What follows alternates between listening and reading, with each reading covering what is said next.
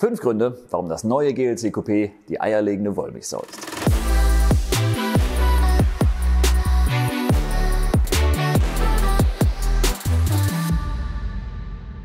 Top 1. Das GLC SUV kennt ihr schon. Den haben wir euch auch schon vor einiger Zeit vorgestellt und zwar ausführlich in einem unserer Videos.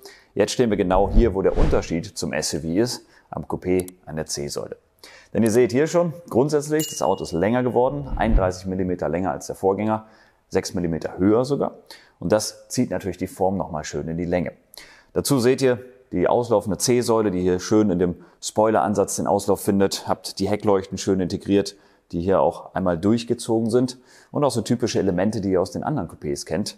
Der integrierte Mercedes-Stern hinten im Heckdeckel, der gleichzeitig der Öffner ist, als auch eben eine der Kameras trägt für die 360-Grad-Kamera. Design ist für euch ein Thema, nicht nur außen, sondern natürlich auch im Innenraum des Fahrzeugs. Das schauen wir uns im Innenraum mal an. Der Einstieg in den GLC als Coupé ist etwas höher. Nicht nur physisch, sondern auch preislich. Das liegt an der gehobenen Serienausstattung, die das Auto schon mitbringt. Aber bevor wir über Serienausstattung und die ganzen Features sprechen, lass uns erstmal auch hier über das Design sprechen und das Auge ein bisschen schweifen lassen. Ich sitze gut auf Ledernachbildung hier und das Ganze eben gepaart mit etwas, was wir Microcut nennen. Fühlt sich sehr gut an, ist warm beim Sitzen, auch in äh, kälteren Temperaturen. Dazu kommen Ledernachbildung respektive Lederlenkrad und auch hier das äh, schöne Armaturenbrett mit der Kontrastziernaht. Flugzeugähnliche Düsen, die mich hier anschauen, illuminiert von der Ambientebeleuchtung, die auch hier mit unglaublich vielen Farben oder Farbkombinationen ausgestattet ist. Das auch hier schön eingefasst in ein schwebendes Element, was hier gerade schön die Farbe wechselt. Dazu Burmester, Klang, den wir hier aus den einzelnen Boxen bekommen. Ein großes Schiebedach, was ich sehe und Sitzanlagen, wo ich hier auch so ein bisschen den Integralsitz spüre, eben mit den Kopfstützen, die ich hier mechanisch verstellen kann, wie auch über das Memory-Paket in der Höhe verstellen kann. Klar, was ins Auge fällt, sind dann auch hier schön animiert, das große Display etwas in Richtung Fahrer gedreht. Dazu mein direktes Fahrerdisplay vor mir, hier auch zu sehen, schön mit der Satellitenkartendarstellung. Also egal, wo ich hinschaue, egal, was ich anfasse, ich fühle mich hier wohl. Also Design nicht nur optisch, sondern eben auch von Haptik wirklich sehr, sehr schön umgesetzt. Top 2. Fahrspaß. Der neue GLC als Coupé kommt daher mit insgesamt acht verschiedenen Motorisierungen.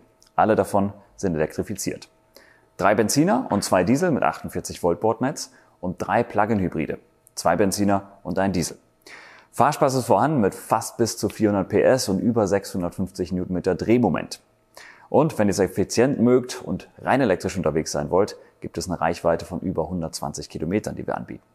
Das Ganze eben nicht nur durch die Antriebstechnik, sondern eben auch durch den CW-Wert, den wir in diesem Fahrzeug nochmal verbessert haben, von 0,30 auf inzwischen 0,27. Top 3. Schauen wir auf die Digitalisierung. Da gibt es eine ganze Menge zu besprechen in diesem Auto. Ihr seid alle schon Profis, ihr kennt die MBUX aus den anderen Baureihen und das ist unser Smartphone auf Rädern letztendlich, wie wir es nennen. Denn sie ist online mit Car2X Communication, mit Live-Traffic, mit all den Informationen, die ihr bekommt. So könnt ihr, anders als mit dem Smartphone, einfach hier sagen, hey Mercedes, fahr mich zum besten Restaurant der Stadt. Und dann bekommt ihr eine Anzeige, wo wir eben auswählen können, wie viele Sterne das Restaurant habt und was euch dann eben passt. Hier also permanent connected. Ihr könnt über die Cloud, über Mercedes Me das Auto vorkonfigurieren oder eben auch Daten abspeichern. Ein paar neue Funktionen gibt es zum Beispiel auch. Vielleicht seid euch mal diese braunen Schilder an der Autobahn aufgefallen. Ähm, da geht es darum, die ähm, Region so ein bisschen zu beschreiben. Und auf dem Schild steht dann meistens eine Überschrift, wo ihr dann wisst, ah, das ist interessant hier in der Region. Wenn ihr mehr wissen wollt, sagt ihr einfach, hey Mercedes, starte den Tourguide. Und dann bekommt ihr jedes Mal noch tiefergehende Informationen dazu. Ein bisschen Entertainment zwischendurch auf den langen Fahrten macht doch Spaß. Wenn wir weiterschauen, haben wir mittig das Display auch, wo ich mir hier schon mal die Satellitenkarte mit eingestellt habe. Wenn man so lang und viel unterwegs ist, jetzt geht es so langsam in Richtung Herbst, es wird wieder früher dunkel, freut ihr euch sicherlich 1,3 Millionen Pixel pro Scheinwerfer mit dem Digital Light vor euch zu sehen. Und das reicht aus, um weiter auszublenden, als das menschliche Auge eigentlich schauen kann. Und das wiederum unterstützt auch das, was die Kameras hier vorne, die verbaut sind, von unserem Fahrassistenzsystem aufnehmen.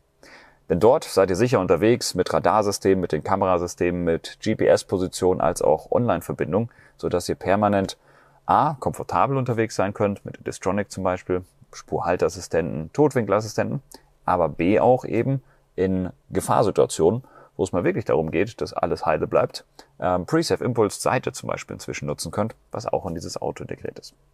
Dazu kleine Helferlein, die auch neue Features sind hier in der Generation, so dass die Kameras zum Beispiel auch rote Ampeln erkennen oder Stoppschilder und euch warnen, wenn ihr nicht automatisch langsamer werdet.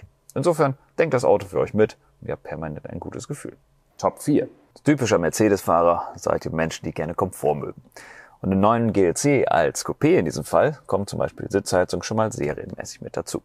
Dazu in der Mittelkonsole USB-C-Ports, um eure Telefone zu laden, respektive dann auch ähm, die Medien abzuspielen. Dazu induktives Laden, ebenfalls Serie. Cupholder, wie wir sie hier sehen, bewegbar, auch Serie. Was gibt sonst noch Serie? Eine ganze Menge. Das große Display zum Beispiel. Und auch der Parkassistent ist Serie, in Kombination sogar mit einer serienmäßigen Rückfahrkamera. Wir bleiben am Heckdeckel, denn auch die Easy Pack Heckklappe, die automatisch hoch und zufährt und auch programmierbar ist auf der Höhe, ist ebenfalls Serie. Darf es noch etwas mehr Komfort sein? Natürlich, in der Preisliste findet sich noch so einiges an Sonderausstattung. Zum Beispiel Akustikverglasung. Serienmäßig haben wir eh schon einen Layer eingearbeitet in die Windschutzscheibe, damit ihr eben weniger mitbekommt von der Außenwelt, also Windgeräusche und alles, was dazugehört. Und optional gibt's das Ganze für die Seitenscheiben dann ebenfalls. Wenn wir schon von Luftstrom reden und auch von den Verwirbelungen der Akustik, können wir auch über das Luftfahrwerk reden. Ähm, die Amatik optional für dieses Auto zu haben, logischerweise, damit eben dieser ja, dieser komfortable Ride, den ihr bekommt, so dass ihr auch kein Knarzen oder keine Rückmeldung von der, von der Autobahn, von den einzelnen Schwellen bekommt. Das macht das Reisen wirklich sehr, sehr komfortabel. Findet ihr, da ist noch Luft nach oben? Und sowas von. Mit dem Panorama-Schiebedach. Wie ihr seht, sogar größer, 6 cm weiter zu öffnen als bei der SUV-Variante. Das wieder geschlossen gibt euch einen schönen Klangkörper und damit könnt ihr die Luft zum Vibrieren bringen. Und zwar mit der Burmester-Anlage, die wir haben, mit insgesamt 710 Watt und 15 Lautsprechern, die hier im Auto verteilt sind. Top 5. Allein im letzten Jahr, 2022, hat sich der GLC insgesamt 343.000 Mal verkauft.